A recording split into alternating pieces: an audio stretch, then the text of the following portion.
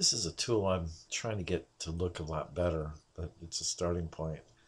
Um, I'm going to use it for training purposes, but I wanted to show you how we do file uploads.